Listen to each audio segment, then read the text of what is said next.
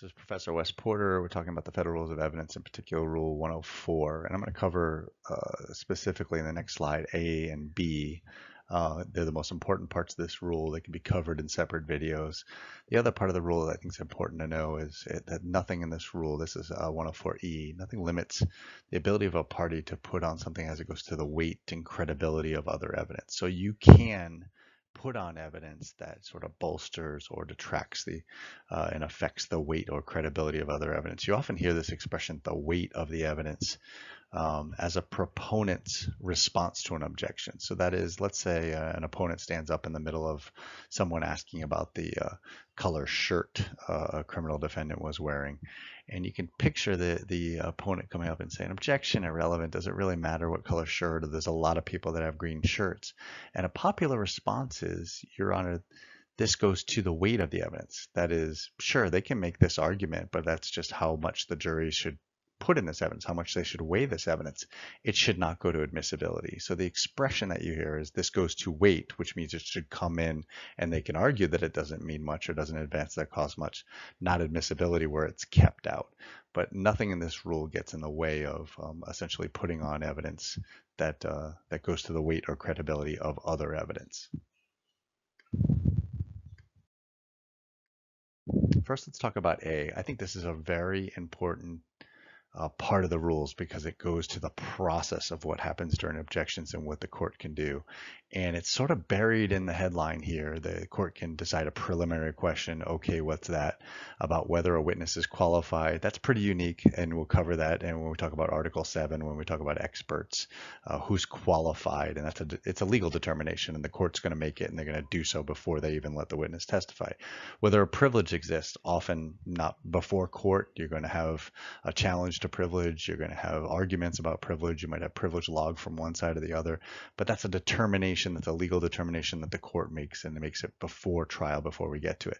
The last part is the most important part. The court decides a preliminary question about whether evidence is admissible. So just imagine there's lots of times where the evidence, where the court has to consider a bunch of stuff to decide whether something's going to happen. So imagine uh, in a contract deal, um, you know a contract case or, or some type of agreement between one of the parties says has an out of court statement that says that's it we got it we got a deal and we're deciding whether that statement is admissible at trial. Of course, one side thinks it should be admitted, the other, th- the other side has made some type of objection, likely hearsay that it should not be admitted, and they're arguing about whether that statement, uh, we've got it, we've got a deal, uh, should be admitted at trial.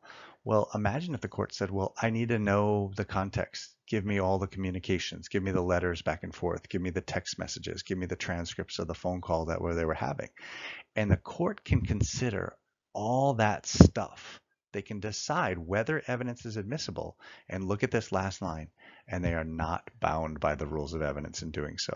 So I can, as a trial judge, I can look at uh, something that's uh, potentially hearsay because it's not, I'm not bound by the rules in deciding a motion. So you see this in multiple choice questions sometime. Can the court consider this obvious hearsay? Can the court consider this thing that has obvious uh, uh, problems against the rules? The court can consider it in ruling on whether something else is admissible. So it's very important. Easiest way to think about it is when we get evidence from a company, when we subpoena a company and we ask them for documents that come back and they come back in a nice bound, here are all the documents you requested. And on top of it is usually a certification. It's a certification under Article 9 that says this stuff is what it is. These things are our business records under 8036, whatever. They have a big affidavit from someone who's a custodian of records that says this is the stuff that you're looking for. Well, imagine when the court rules whether the exhibits or maybe just one uh, exhibit that was subject to that subpoena, when they when they rule on whether that's admissible or not, they consider that affidavit.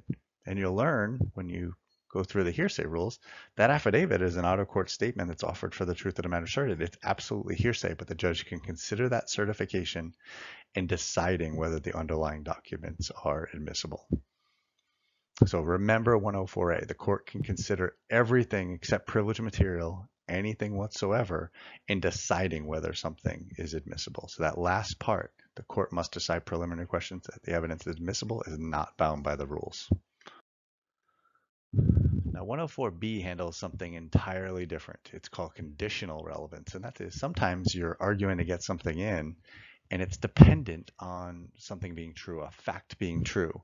And maybe just by the order of trial, you're out of order. You're trying to put in the uh, photograph, for instance, but you haven't proven the fact that you need to make the photograph relevant. So I always like to think of I got a I got a um, a door in the house, and it looks like a bullet hole in the door, and I want to put in that. Uh, I have uh, the witness on the stand, the officer on the stand, and I want to put in that picture of a of a door with a bullet hole in it.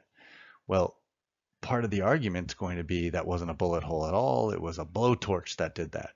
And they're going to learn later on in trial through a different witness that this defendant has a blowtorch and uses a blowtorch and made that hole with a blowtorch. Well, the, the batting order of trial is out of sync. So what you would do as the proponent, objection relevance, Your Honor, under 104B, under conditional relevance, we will be able to tie up later on that this photo is relevant because it's a it's a hole in the door, but it's also going to be more uh, relevant once connected up with this blowtorch evidence that we'll put on later. So think of 104B, conditional relevance is I have a batting order problem, a sequencing problem with how I'm going to present things at trial. And maybe something that I wish that I had before the court, had before the jury right now at the time when I'm admitting this evidence is just going to come in a little bit later. So 104B operates like a promise. I promise that thing's going to come in later, and when it does, it'll tie this up and make sense. And you're allowed to do that. Uh, if that uh, photo, that evidence of the um, blowtorch doesn't come in later, then that fact doesn't exist, and this thing will uh, not be this uh, evidence of the photograph won't be relevant now. So it's a promise, a condition because of the sequencing in order of trial. You can use the expression conditional relevance as it relates to 104.